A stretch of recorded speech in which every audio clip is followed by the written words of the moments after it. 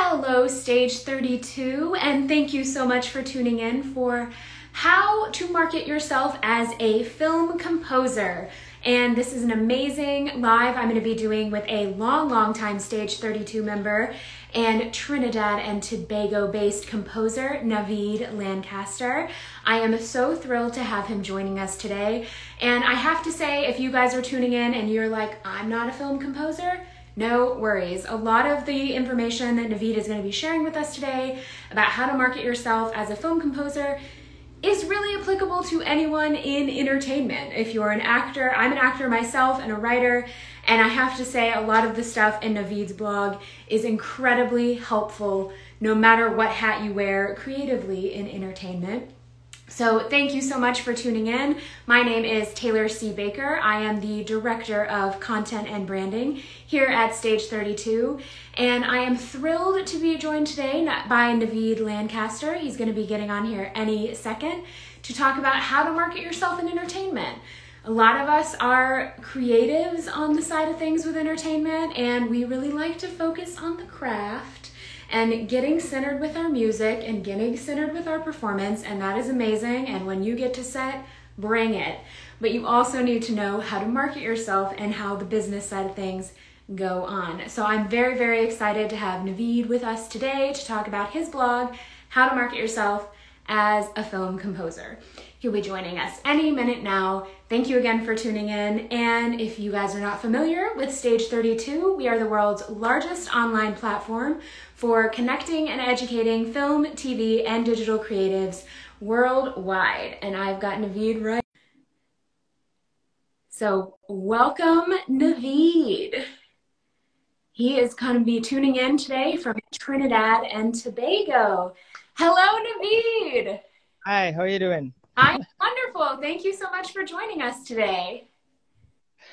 Yes, unfortunately, we were not uh, as sunny as we are. It's actually raining, rainy outside. So oh. we're slightly rainy Trinidad and Tobago.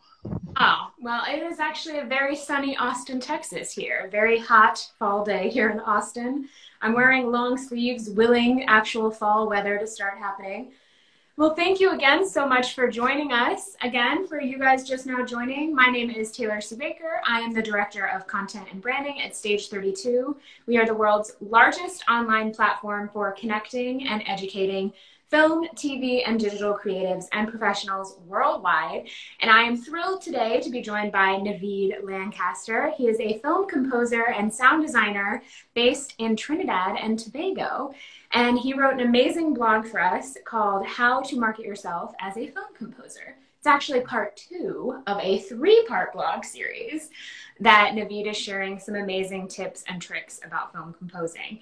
And again, if you guys tuned in at the beginning, this is applicable really to anyone in entertainment. So stay tuned. But first of all, Navid, I would love to hear you have been a member of Stage 32 for a very long time please tell us a little bit about your experience being a member and some of the things you, you love doing on Stage 32. I've seen uh, since my time then, since 2011. Oh, by the way, let me backtrack a little bit. Um, sure. for, for those who, who don't know the Trini accent, I'm going to speak a little slower. um, I've been a member since 2011. Wow. And I've seen uh, amazing growth uh, through uh, through those years. Uh, now, my involvement in Stage 32 was more of a watcher and observer while I was building my own uh, resume, you could say. Uh, and it's only until last year uh, when one, of, one of my tactics, by the way, which I will share before I continue, is that when I go to a website, I look to see who are the head honchos. I try to connect with them always. That's the first thing. So I, I saw RB mm-hmm. uh, and I saw Amanda.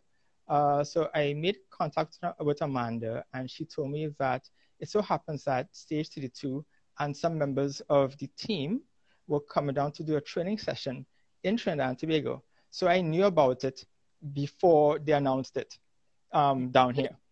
Yeah, so that, that's another advantage of, of meeting the head honchos and conversing with them they sometimes tell you stuff uh, uh, that you could prepare beforehand.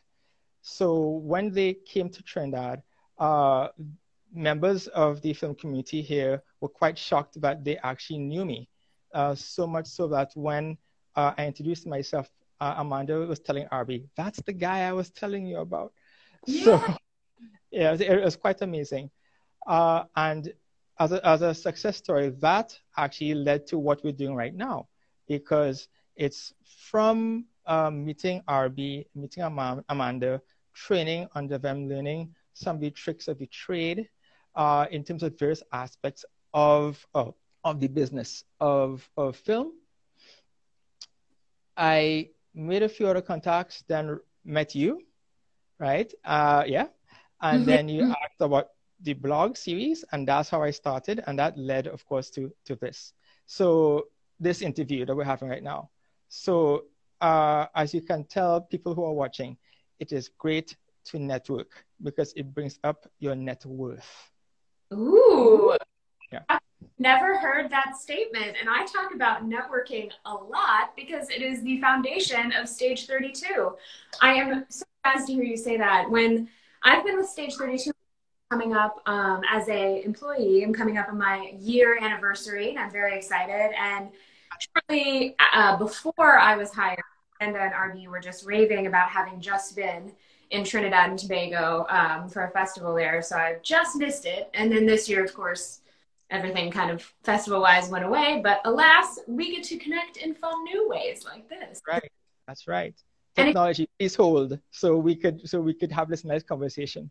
Yeah. yeah. So technology keeps going going forward. Age 32. We have 650,000 members worldwide. You can join for free at stage32.com. We have actors, film composers, writers, hair and makeup artists, and costume designers. No matter what you do or where you live in the world, there is a place for you to network and make amazing connections like Navid on Stage 32.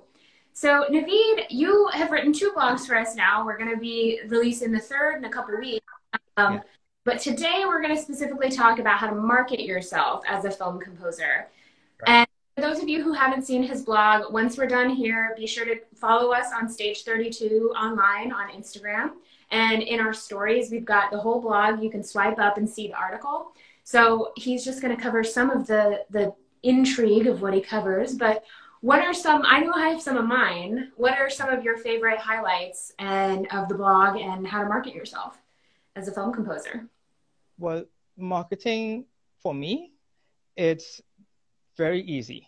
It's not a narcissistic venture, as some people might think it is, uh, or some people might feel that it's not for them. Mm-hmm. It's for everybody, especially in this day and age where the opportunity, due to the pandemic, people who you may not normally meet are usually home. So yeah. for me, marketing is like a bright light in a dark room saying, me, me, look at me, look what I'm doing, see my worth. So I, I, I, that's what I do. I make I put myself in situations where I can be seen, and of course, with that, as I said in in the article, uh, it's one thing to put yourself out there, but you also have to have, especially for a composer, a wide range and varied range of music that yeah, yeah. have. You know, so where if a person, um, a director, filmmaker, producer, or even a fellow composer says, okay, let me hear this person's work because he's been making, he or she has been making so much noise, you know, in their marketing. Let's see what they have. You better have some stuff sure. to back that up. Yeah. You know? Uh, I have I have been to situations where slightly outside the blog, uh, but still dealing with marketing, that people would come to me and say they're they're this producer, they're that producer, when you go on their, their website, if they have a website, or you go on their social media, you don't see anything, hardly anything that pertains to what they profess. Mm-hmm. So, yeah, so that does not make sense to me. That's an instant write off for me. Uh, one of the, the, the, the subjects I talk about in the blog is having something called consistency in your posting. That, yeah. for example, yeah. I'll, I'll, use Instagram uh, as an example because we are, we are on Instagram Live uh, yeah. So, so if anybody goes to my profile, they can get a very good idea throughout the years. I have had my profile since 2014, if I remember clearly. You'd see a consistency. Mm-hmm. Everything either music or music related. Yes, guaranteed there'll be one or two posts where I'm doing something that is not music related. But basically, everything else is music, like me, meaning that I am producing something or mm-hmm. I'm talking about something or giving advice about something related to music, uh, the film industry, or sound design, or all three, depending on the post. Sure. So that will give a, a, a viewer a very good idea of who I am, how serious I am, what I do for a living, and my worth. One of the things, that's a great that's such a great point. and one of the things i particularly love in what you were saying about writing about consist or posting consistently is you say don't don't do the whole fake it till you make it. Like don't like pretend you're off you know starring in a feature film if you've never even been to an acting class you know because there's especially in entertainment sometimes people lean into the fake it till you make it and that is typically going to end poorly. Um, example i can say that is the opposite of that is i know um, Oh man, what's her face? She's so famous. There's a really famous actress who lied about her age because she wasn't going to be able to be in a, a in a show because mm-hmm. she was too young to be in the role or something, and that ended up working out really well for her. But that's not like pretending that you can't do something that you're you're selling. So I love that you say when you post consistently, be authentic. And a big part of what you say is share your struggles. Like a lot of times on social media and when you're trying to promote yourself is any hat in, in, in entertainment. I saw somebody, hey, oh, thanks for tuning in. I saw someone said they're a screenwriter. That's amazing. All these tips we're going to be talking about today are applicable to anyone in entertainment.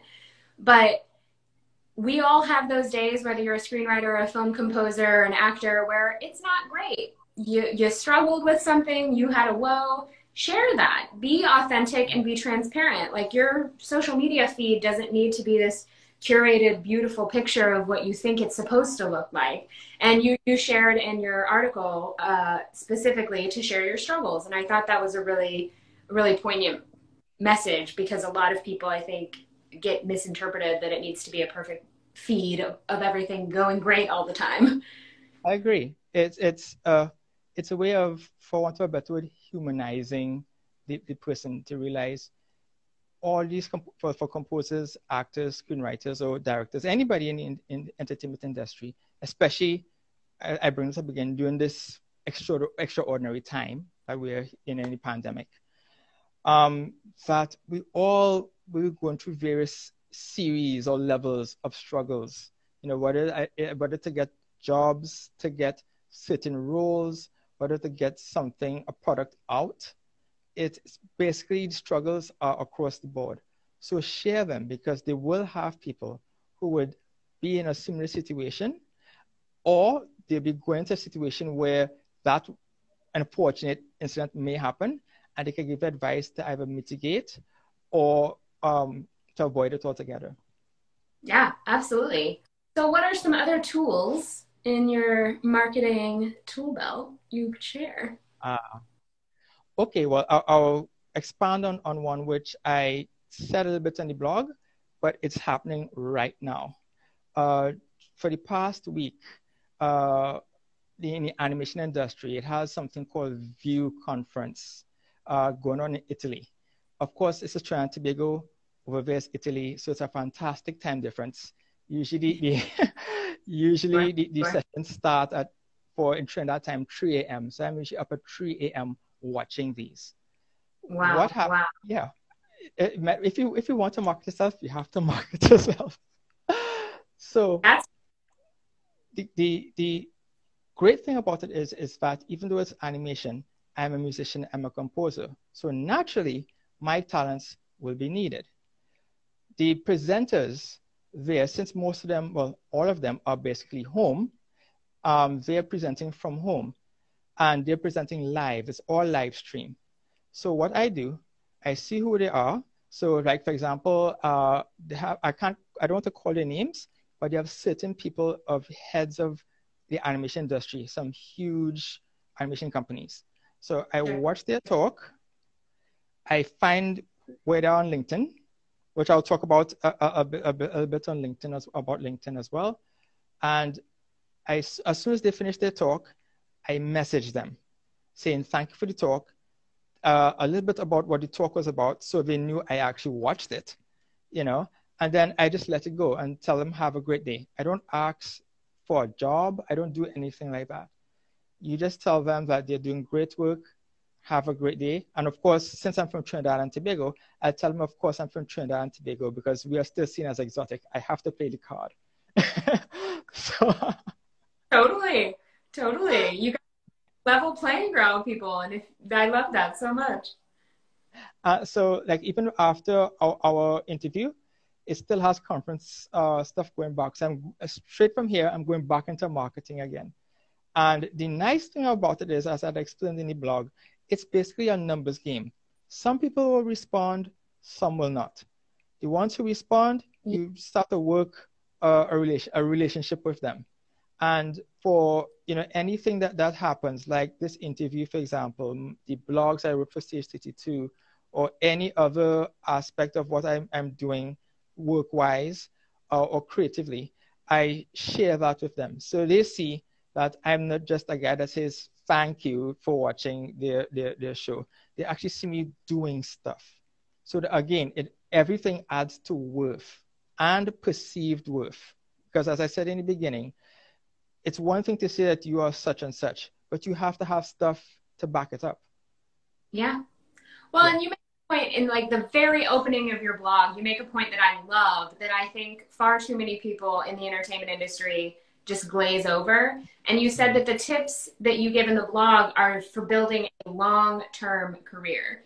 Because right. if you want to succeed and that doesn't necessarily mean you know like walking down the red carpet at the oscars one day but like have a real career and connections in entertainment it's not going to happen overnight it's going to take years and like you said those seeds that you're planting and those pe- that's brilliant by the way the way you're mm-hmm. approaching that and how you're being so personalized about it and very often in networking situations people tend to go in and be like this is me I can help you. You can help me because you're more successful and I need your help because you need my music.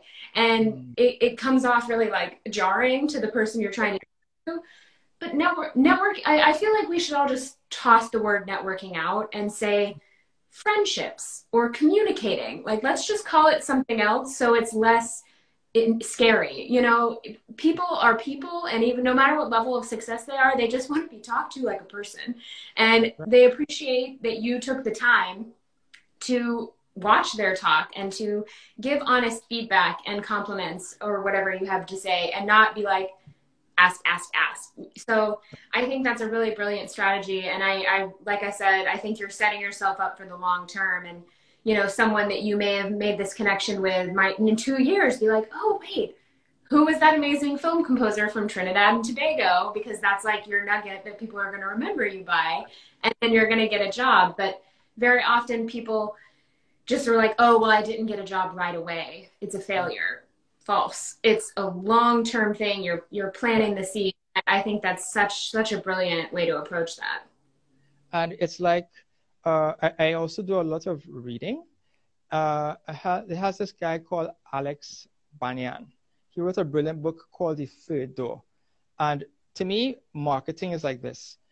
Uh, you, you go to a club, and the club has a line by the door that goes all the way around the block. That is 99.9% of the people who, for example, they connect, they try to connect to a, a filmmaker or producer and say, just like what you said, I can help you, you can help me because you're more successful. That is mm-hmm. instant no outside that door forever. Then it has the rich percent that goes that knows the bouncer and goes through. What I do, I do the third door, which is you go, go down, you, you leave the line, you go down the back alley, you look for a window to get any climbing. Yeah, that's my, my method. That's very and, and that's, how I have talked, I've given the metaphor very often about how I won't say Hollywood per se, but the entertainment industry is like a giant castle. And this castle has a moat with the most ver- like ferocious alligators that are also infused with like dinosaurs and they're like monstrous alligators guarding this castle. And there's no doors or walls or windows. There's nothing.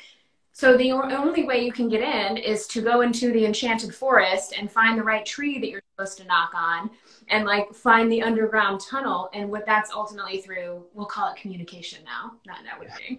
And that's a very similar thing. And your intent going in says so much. You know like that reeking of that desperation is going to even get the tree trunk closed you know? So Correct. that's that's such great advice. Um, you had also mentioned earlier about the whole inception of this was you were saying you're based in trinidad and tobago and you're watching these animation seminars that are happening in Italy, which is a crazy time difference. You know, I'm here in Austin, Texas talking to you, which is so amazing. What sort of tools and things have you used in addition to Stage 32 to stay connected and and work internationally in that regard in the film industry?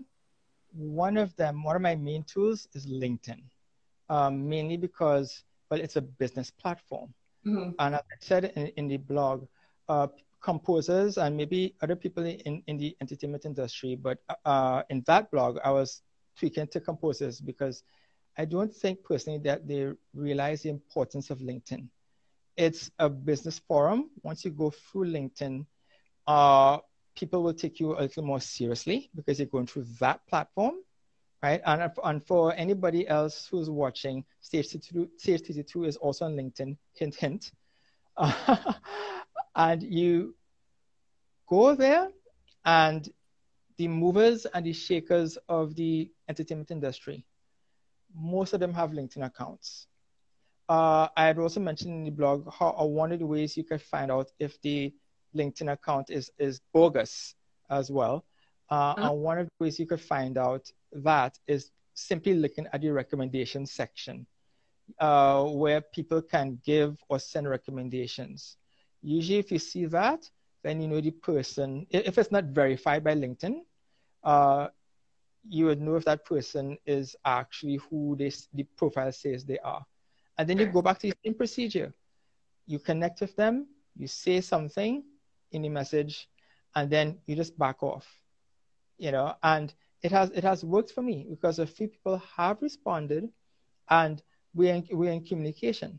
I know nothing major has happened yet, right? But they're seeing my stuff, they're responding with either a thumbs up or an actual statement. And the statements I like more than just the thumbs up because it shows they actually read it, thought about it, and said something, which is even better. So you actually have this form of communication going on. And then from there, things may happen. Absolutely. And that's a great tip. And also, again, for those of you who are not members of Stage 32, we're a free platform, and we have been referred to by Forbes magazine as LinkedIn meets Linda for entertainment networking. So we have a specific network of people working in entertainment, both on the craft and the business side of things. So you can connect with people right on there. You can send them DMs. Um, messages and what have you. So be sure to do that. And I also wanted to note, especially because you have a relationship with our founder and CEO, Richard R.B. Botto. Um, yeah, he's, he's awesome. yes, he's so awesome. Uh, he founded Stage 32 about 10 years ago now. You know, in his own vision, he was feeling the same thing we all feel. He was struggling making connections and making things happen in his entertainment career. So he created a platform that made it easier for us all to do that worldwide. And he has also written a book about networking and crowdsourcing called Crowds, uh, Crowdsourcing Indie Film and the Power of the Crowd. So be sure to check that out. The audiobook is for free on Amazon, so you can listen to that. And he, if you're having any sort of trouble, because the bad word we call it networking, can be an issue, be sure to check his book out. It has so many helpful tips on how to approach networking from the master of networking. So I highly recommend you check that out and join Stage 32 and just start nosing around the amazing web. We have webinars on networking, so many resources on how to expand your entertainment career. Well, Navid, you have been an absolute pleasure and an absolute treasure trove of information on how to authentically connect with people and get ahead in the entertainment industry. Um, one final thing, you have a third installment of your blog coming out. What can our viewers expect to see from that? What will you be talking about? This one is dealing with health, uh, which of course is important across the board for everybody. Yes. Um, so I'll be dealing with uh, the major topics of physical, emotional, and mental health, especially during this time. Um, this was brought about by uh, myself blogging on other forums and the people there, some who, who, had health issues and they were asking about certain things. So I, I you know, answers the best I can uh, because of course I am me and I have, you know, I have my health and you have yours and everybody have a, different health situation. Sure. But dealing with, dealing with your health issues, uh, in this particular time where most of us have to stay home uh, brings particular challenges. So yeah, so uh, so I'll be writing about that. That is amazing, and I think it's really easy to in any sort of creative endeavor to get a little lost in what you're doing and i have never done this but i've heard people like will get so in depth in their work that they forget to eat i'm a big fan of eating so that doesn't happen to me but in general, I think sometimes people get a little down the rabbit hole and they need that reminder of like, take care of yourself, take a break, you know, do a social media. As a composer, as a composer, uh, we're all at fault of that. Uh, when I was younger, uh, we used to take pride in going into the recording studio and not coming back out for about three days. It, it was brutal, yeah. yeah. It, it's because we're, we're just in there creating yeah, yeah. My husband's a musician, and he sometimes does that where he's just like in the studio, or he just like play like gets lost in it. And I, I admire that, but you also got to make sure you take care of yourself.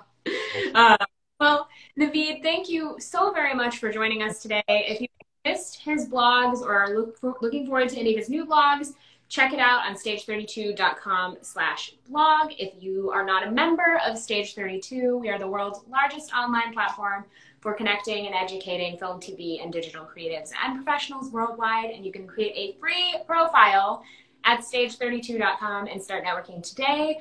Navid, thank you so much for joining us. If you guys missed me, I'm going to post it as an IGTV, so be sure to check that out. Navid, you have an awesome day down there. I hope the sun comes out in Trinidad. Oh, yes. it will. Thank you so much for joining us. I will talk to you soon. Yes. Thank you so much. You all take yeah. care. You too. Bye-bye. Thanks. Bye. Bye bye.